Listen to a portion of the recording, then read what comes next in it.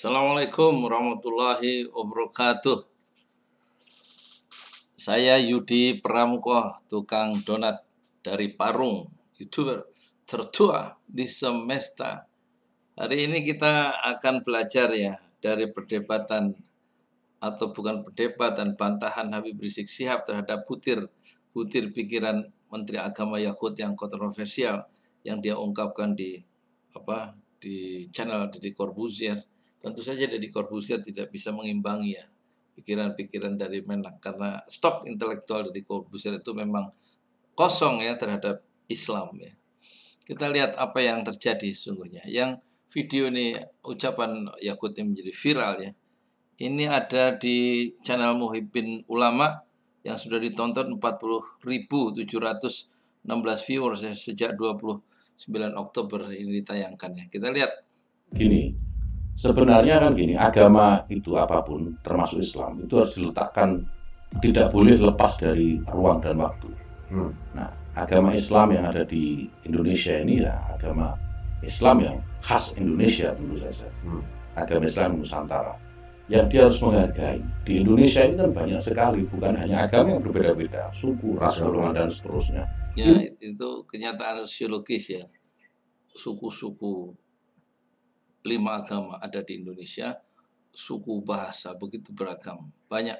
Ini pun juga harus menjadi dasar bagaimana cara kita beragama. Mengapa dasar kita beragama harus didasarkan pada pada fakta sosiologis yang sangat diversity itu yang sangat beragam kok bukan dasar beragama kita berdasarkan akidah atau nilai-nilai yang otentik dari Al-Quran dan Sunnah itu kemudian baru kita meneropong fakta sosiologis yang bisa dirubah-dirubah yang harus diteruskan diteruskan sesuai dengan perspektif ya Islam. Itu dasarnya bukan berdasarkan kenyataan sosiologis kita beragama. Kalau dalam bahasa yang paling ringkas ya agama itu memberikan penghormatan terhadap nilai-nilai budaya lokal. Itu seharusnya. Tidak ya, agama memberikan penghormatan terhadap nilai-nilai yang benar, yang batil dalam budaya lokal tentu harus disingkirkan ya.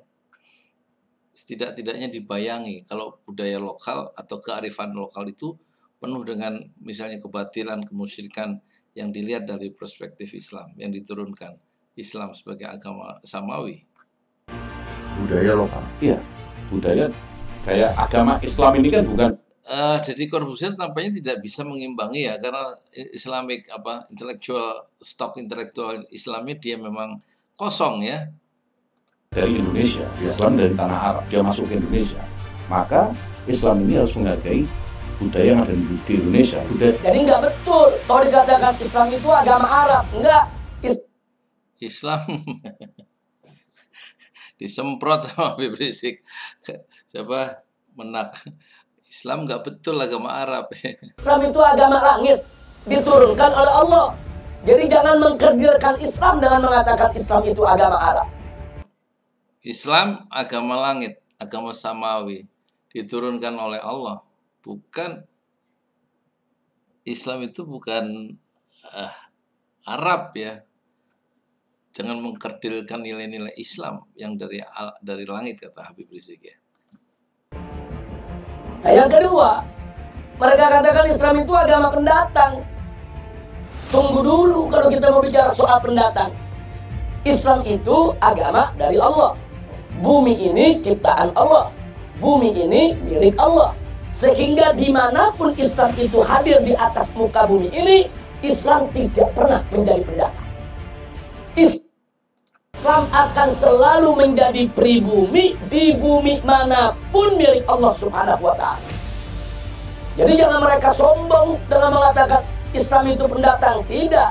Orang Arab di Indonesia pendatang. Orang Cina di Indonesia pendatang. Tapi Islam bukan pendatang, Saudara. Islam itu datang dari Allah Subhanahu wa taala di atas muka bumi. Bumi ini milik Allah lihat tampak ya kekuatan logika, kekuatan mantek, ilmu mantik dari Habib Rizik ya. Kata menak Yakut, Islam itu anggap agama pendatang dari Arab masuk ke Nusantara. Tapi kata Habib Rizik, agama itu bukan datang dari Arab ya, dia datang dari langit. Jadi ke mana pun ya dia datang di bumi mana pun yang bumi itu juga milik Allah, maka Islam itu akan menjadi pribumi di bumi milik Allah itu dan tidak mungkin Islam itu menjadi pendatang karena dia agama langit dan bumi itu juga milik Allah.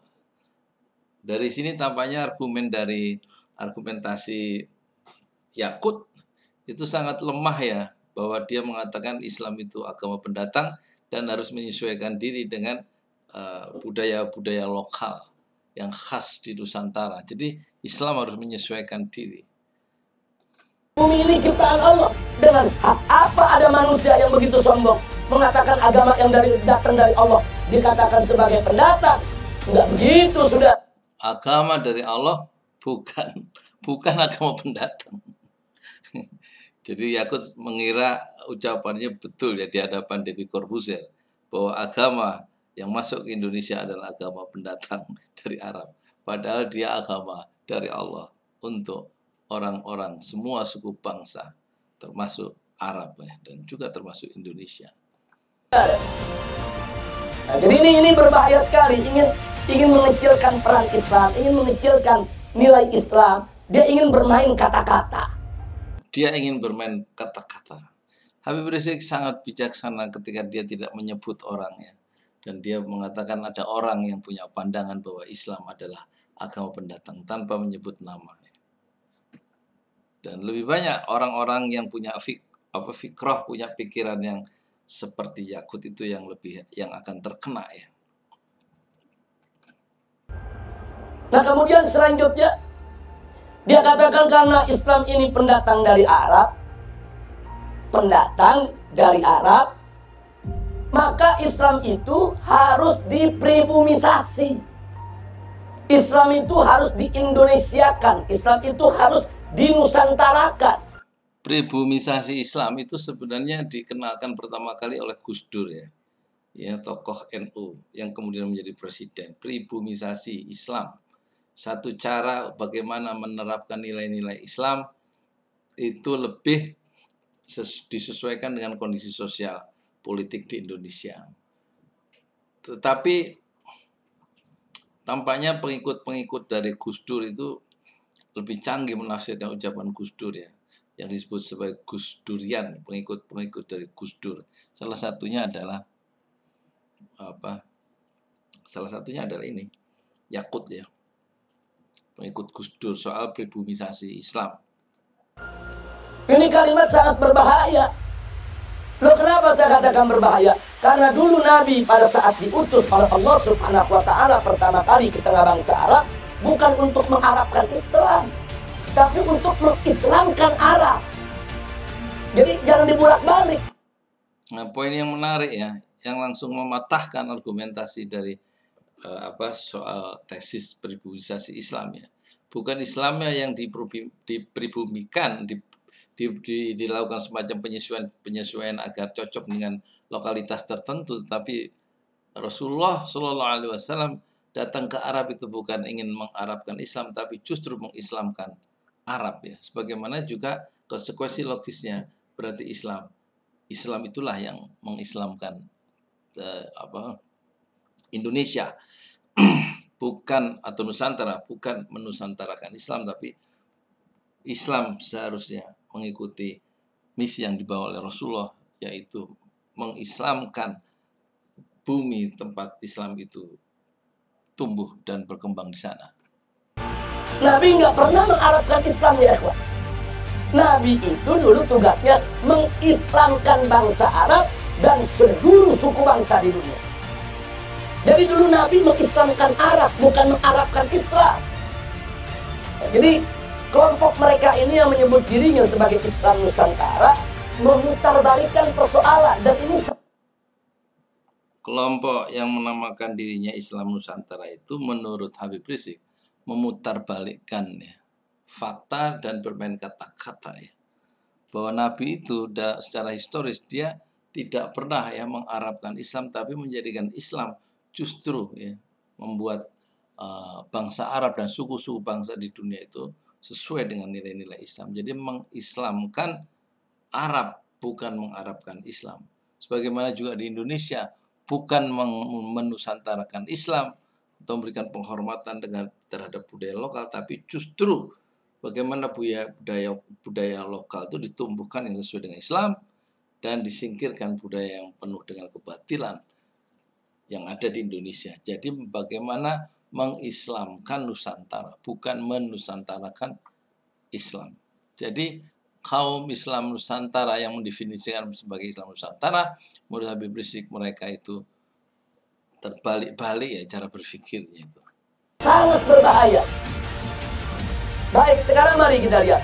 Kalau nanti Islam di Indonesia harus di Indonesia, ya, maka konsekuensinya Islam di Afrika harus di Afrika kan. Islam di Eropa harus di Eropa kan. Islam di Amerika harus di Amerika kan.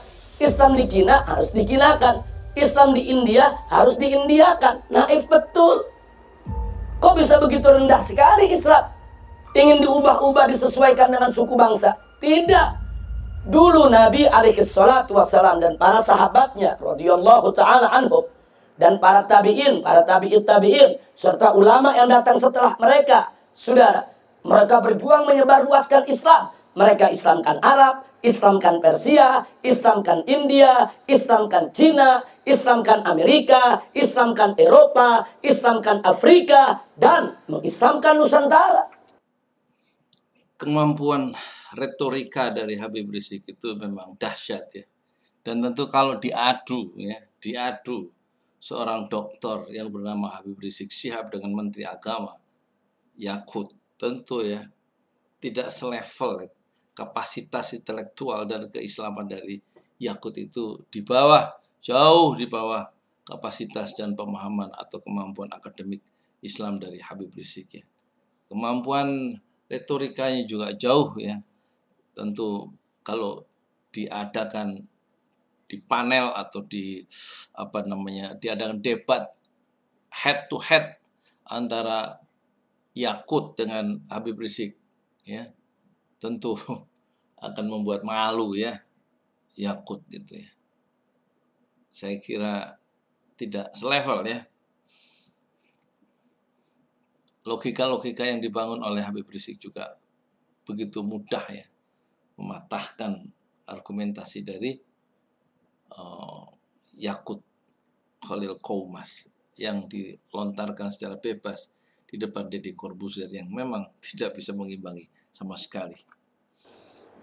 Wali Songo dulu ketika berdakwah di tanah Jawa, Wali Songo nggak pernah menjawabkan Islam. Wali Songo nggak pernah menusantarakan Islam. Justru Wali Songo mengislamkan tanah Jawa dan mengislamkan Nusantara. Sangat logis ya. Itu tesisnya berbeda dengan orang yang menamakan Islam Nusantara ya. Bahwa Islam yang katanya dari Arab, Islam sebagai pendatang, maka Islam itu harus di, disesuaikan dengan nilai-nilai dan budaya Nusantara dan nilai-nilai budaya Jawa terutama. Tapi tidak kata Habib Rizik ya Agama itu bukan dari Arab, bukan pendatang, tapi agama Islam itu dari langit diturunkan ke bumi yang juga milik Allah. Maka Islam itu dari Allah, bukan dari orang Arab. Oleh karena itu Islam sebagaimana Wali Songo membawa Islam, dia tidak menjawakan Islam dan tidak menusantarkan Islam, tapi Wali Songo berdakwah selama 200 tahun itu itu justru mengislamkan tanah Jawa, mengislamkan Nusantara. Satu pukulan telak ya, yang diberikan oleh Habib Rizik Syihab kepada Yakut Khalil Koumas. Nah ini, ini sengaja saya tekankan karena mereka ingin mengkerdilkan Islam seolah-olah ini cuma urusan orang Arab. Sebetulnya yang mereka mau serang bukan Arab, mereka mau serang Islam. Arab ini cuma perantara saja ya ikhwah. Nah karena itu kita bantah habis. Gak bisa mereka gunakan istilah sedemikian rupa. Nah, kalau istilah ini dibiarkan, berbahaya. Nah, pada kenyataannya, memang akhirnya mereka kembangkan. Nah, baik sekarang yang berikutnya yang keempat. Apa mereka kembangkannya? Kata mereka, karena kita ini adalah bangsa Indonesia, kita masyarakat Nusantara, kita jangan mau dijajah sama Arab. Jadi secara sistematis ada empat poin yang dibahas oleh Habib Rizik dalam satu pidato yang tanpa teks ya. dia nguasai persoalan dibikin pointersnya dulu. Satu dua tiga empat. Dan keempat ini. Jangan mau kita diperbudak sama Arab maka itu segala unsur Arabisasi dalam Islam harus ditolak. Ambil Islamnya buang Arabnya ambil Islamnya buang Arabnya itulah uh, apa jargon ya ungkapan yang sloganistik atau jargonistik dari orang yang menamakan diri sebagai uh, Islam Nusantara ya. Dan dia tidak menolak Islam tapi menolak bahasa Arab sebagai satu cara sebenarnya untuk merendahkan Islam dengan cara yang halus ya. Yang diserang sebenarnya adalah Islam pada akhirnya dengan cara pertama-tama merendahkan bahasa Arab. Arab dan Islam itu seperti ikan dengan airnya tidak bisa dipisahkan. Itu mereka sampaikan dalam beberapa ceramah, dalam beberapa diskusi, dalam beberapa artikel. Ambil Islamnya, buang Arabnya. Makanya jangan kaget. Sejak tahun 1984, salah satu tokoh liberal pentolan liberal di Indonesia berceramah di kampus UI. Saudara, untuk pertama kalinya dia katakan bahwa untuk mempribumikan Islam maka pertama kali kita ganti dulu Assalamualaikum dengan selamat pagi dan selamat siang. Ini ungkapan Gus Dur ya yang dulu menjadi sangat kontroversial ya. Karena untuk menjelaskan secara sederhana konsep dia tentang pribumisasi Islam ya. Dengan cara menghilangkan unsur Arab dalam Islam Indonesia dengan cara mengganti selamat pagi dengan apa assalamualaikum dengan selamat pagi. Sebenarnya konteksnya mungkin berbeda, tetapi kemudian yang ditangkap ke masyarakat, Gus Dur ingin mengubah ya assalamualaikum dengan selamat pagi. Ini dari tahun 84 deh, terus berkembang sampai sekarang. Nah ini kan sekarang dengan alasan apa? Karena assalamualaikum itu adat Arab, itu tradisi Arab. Kita ganti dengan bahasa kita supaya lebih akrab, lebih Indonesia, lebih Nusantara, lebih pribumi. Kenapa mesti pakai Assalamualaikum? Nah untuk membantah ini, perlu kita kembalikan kepada sejarah Assalamualaikum itu sendiri. Sebelum Nabi diutus menjadi Rasul di tengah masyarakat Arab jahiliyah, nggak ada yang kenal Assalamualaikum. Jadi cara Habib Rizik membantah uh, kaum Islam Nusantara itu dengan ini ya dengan pendekatan historis ya. Salam yang ada sesama masyarakat jahiliyah adalah wasobaha. Wasobaha. Abu Jahal ketemu Abu Lahab wasobaha. Wasobaha. Bahkan para sahabat Nabi sebelum masuk Islam salamnya juga wasobaha. Hmm. Tapi setelah Nabi ajarkan konsep assalamualaikum yang merupakan ajaran Allah, maka mulai saat itu seluruh umat Islam di zaman Nabi tidak lagi menggunakan wasobaha, mereka menggunakan Assalamualaikum. Sehingga salamnya umat Islam dengan salamnya orang kafir masyarakat jahiliyah berbeda. Itu satu jasa besar ya dari Rasulullah Shallallahu Alaihi Wasallam yang mengenalkan konsep ajaran Allah, ajaran Islam yaitu Assalamualaikum untuk membayang-bayangi satu adat Arab ya yang tidak ada dengan tidak dipenuhi dengan doa ya. Dan kemudian umat Islam kaum beriman menggunakan konsep baru itu dan orang-orang non Islam tetap dengan adat yang lama adat Arab yaitu selamat pagi tadi. Wasobaha jadi assalamualaikum itu menjadi identitas muslim identitas Islam identitas muslim kelompok Islam yang baru tumbuh ya dengan demikian assalamualaikum itu bukan adat Arab bukan tradisi Arab, tapi Assalamualaikum itu adalah ajaran Islam. Mendengar penjelasan ini kira-kira apa reaksi Yakut ya? Bahwa dia mungkin membenarkan dalam hatinya. Tetapi mulutnya itu akan membantah ya. Karena mungkin merasa merasa apa?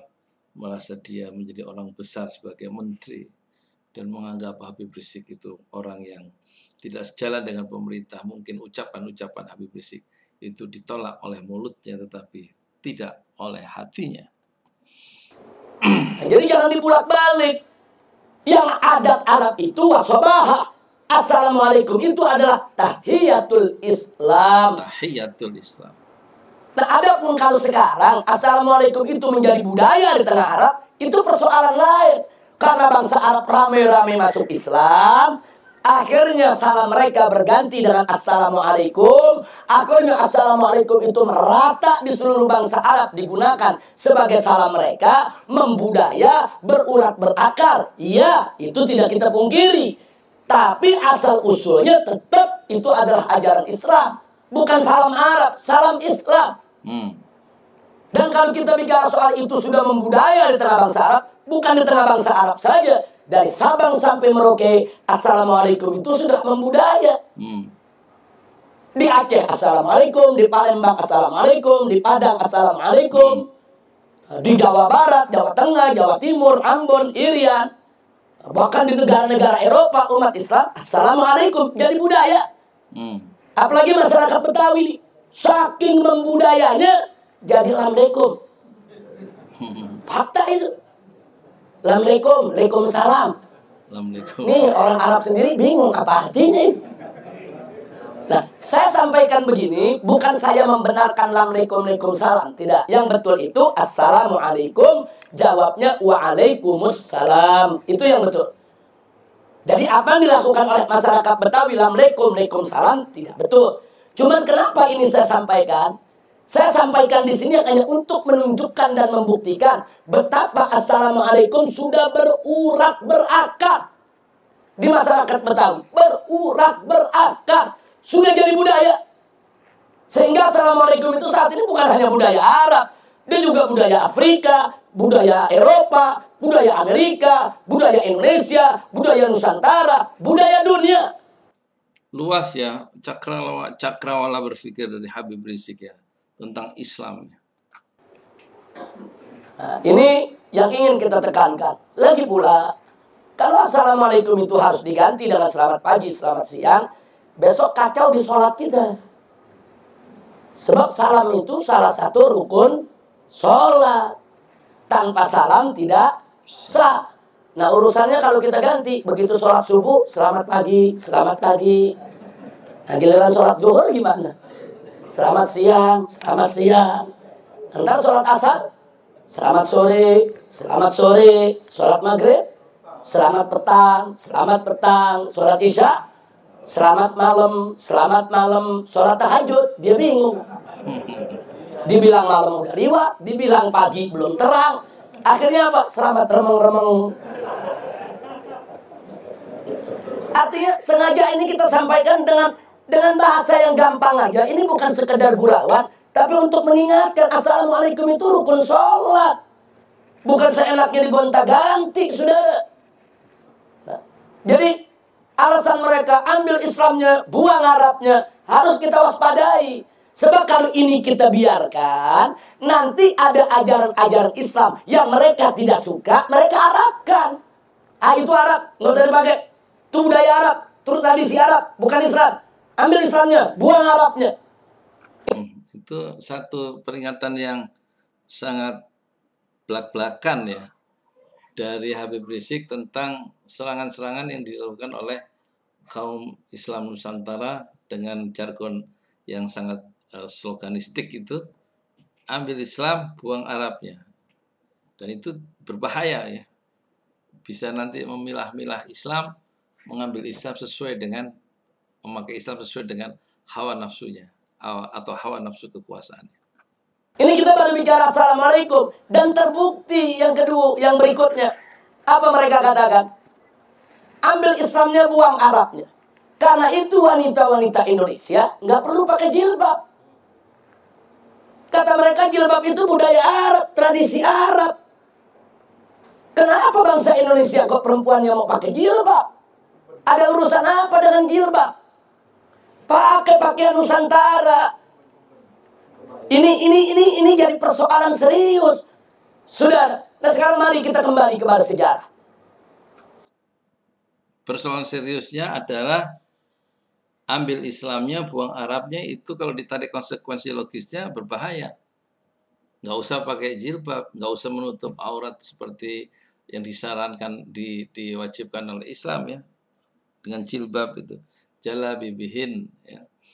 Karena apa? Mereka beralasan jilbab itu adalah tradisi Arab. Dan itu tidak betul ya. Jilbab itu adalah ajaran dari Allah Subhanahu wa taala. Sebelum Nabi diangkat menjadi rasul tidak ada satupun perempuan Arab yang kenal jilbab. Mereka mutabarrija, masyufatul aurat. Terbuka aurat mereka.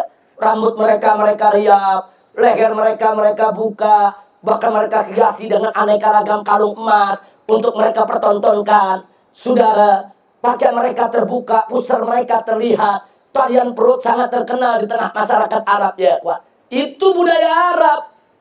Hmm. Tapi begitu Nabi diangkat menjadi Rasul, saudara, kemudian Allah perintahkan kepada Nabi untuk mengatakan dan menyampaikan kepada istri-istrinya, putri-putrinya, dan seluruh perempuan orang yang beriman. Apa kata Allah? Yudnina alaihinna min jalabibihin. Nabi diperintahkan Allah sampaikan kepada istri-istrimu, putri-putrimu. Sampaikan kepada seluruh perempuan beriman.